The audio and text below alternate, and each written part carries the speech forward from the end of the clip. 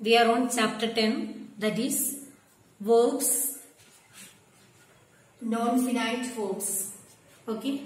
So today we are going to discuss on the topic of gerund. What is a gerund?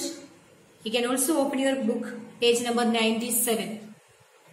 The definition which is given on your textbook is gerund are verb in ing form. The gerund has the same form as the present perfect part- particles, but the gerund act as a noun rather than a verb or a modifier. That is the definition. Okay, so we will um, make you to understand what it is.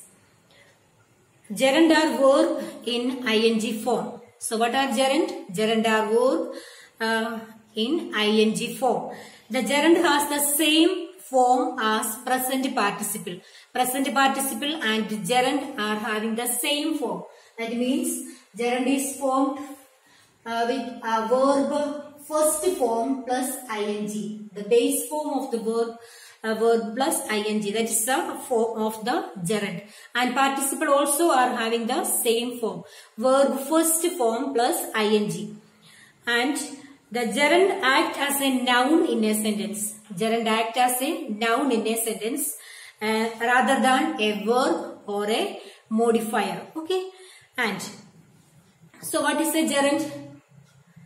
Gerund is a verb which act as a noun in a sentence. When you ask, when we ask the definitions, we can write in a short. What is the short definition? Gerund is a verb which act as a noun in a sentence. It is adding verb plus ing. So we can say that we can form a gerund um, adding ing to the uh, verb's first form. Okay, ing to the verb's first form. What is a verb? Doing words are called a verb. Uh, can you say a few uh, verbs? Play, run, jump, swim, walk.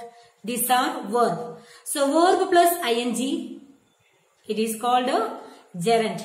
Playing, walking, dancing, singing. Verb plus ing is a gerund. Okay. And um, a verb ing form can be used in two ways. What are the two ways verb ing form can be used? Gerund and uh, present participles. Okay. Gerund and uh, present participles. So gerund we use it as a noun in a sentence. Gerund we use it as a noun in a sentence. And present participle we use it as a adjective in a sentence. So we can, there is a difference between gerund and uh, uh, present participle. So uh, how can we uh, make the difference? Uh, gerund is uh, mm, the same form it is. Gerund, for, gerund is uh, formed with the verb first form plus ing and participle also with first, first form plus ing. But there is uh, one different that I can, we can identify that uh, gerund is it uh, in a sentence it acts as a noun. Gerund is act as a noun and uh, the present participle it is act as an adjective. So okay and the example which is given in your test. The first one. Walking is good for one's health. I also have written here walking is good for one's health. Here walking is here what is as the subject in the first sentence. The walking is uh, here as a subject in the first sentence. Okay. The gerund is acting as a subject in the first sentence. Walking is good for one's health. Walking. The, the gerund here acts as a subject in the sentence. Now second sentence we can read. What is the second sentence? One physical activity that helps you a lot is walking. So the, uh, the second sentences, the gerund is act as a complement. One physical activity that helps you a lot in walking. So here the gerund is acting as a complement. Now take the third sentence. I like walking. I like walking. The gerund here in third sentence it acts as an object.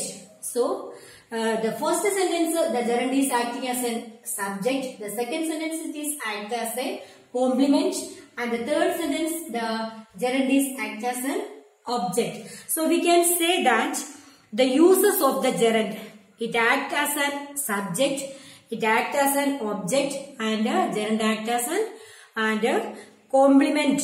Okay, complement and uh, to be forms. What are the to be forms? In uh, to be form is in present tense is am are and in past tense to be form is was and where you know that know the forms of to be is am are in present tense and past tense was and uh, where okay and uh, you have also have the exercises which is given here on page number 98 okay? Identify the gerund as present participle in the following sentences. So you will be doing that. Identify what are the gerund and uh, what is an uh, uh, present participle. Okay students? That's all today. Thank you for listening